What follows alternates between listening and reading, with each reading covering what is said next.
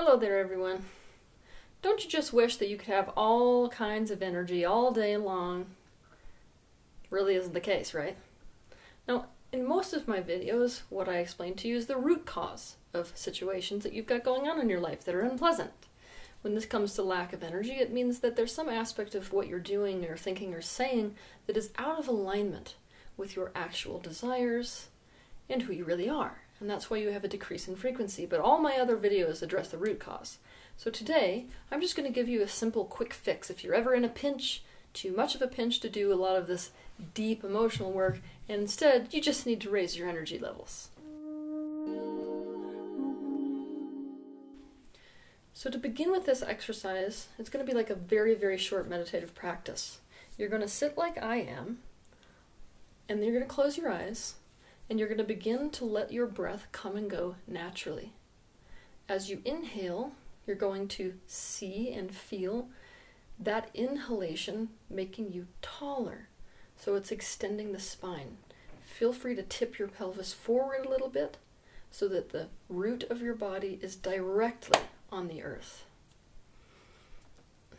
After you've done that, you can feel yourself settling into this practice, but also feel the expansion of the breath making you grow taller. I want you to imagine that here, underneath your navel, in the center of your abdomen, is a tiny little flame. If you have low energies, you can imagine this tiny little flame flickering like it barely has any energy. Now, I want you to imagine that you're sitting on top of a fuel source, almost like you are sitting on top of gasoline, but make it spiritual gasoline. As you breathe, I want you to imagine sucking this fuel up through a channel that goes straight from your bottom into your abdomen, so that you're kind of sucking that fuel with every breath up to meet the flame. When you sense this fuel source reaching that flame, I want you to feel the flame ignite, just like a fire does when kerosene is added to it. Feel it fueling yourself. Now, when you feel that, let's say, catalyzing reaction occur, I want you to bring your hands above your head with your palms facing upwards but overlapping like this. And it's at that moment that I want you to begin breathing in and out through your nose in a fast fashion for one minute. It's going to sound like sniffing, but before you do this, I want you to imagine making your belly really, really relaxed.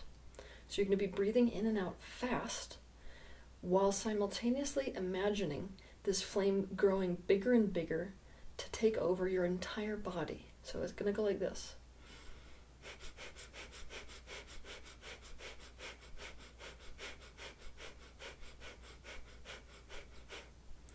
You're going to do that for one minute. Keep in mind that the breath should be shallow, just at the tip of the nose. You want to continue this type of breathing at a comfortable pace and establish a steady rhythm.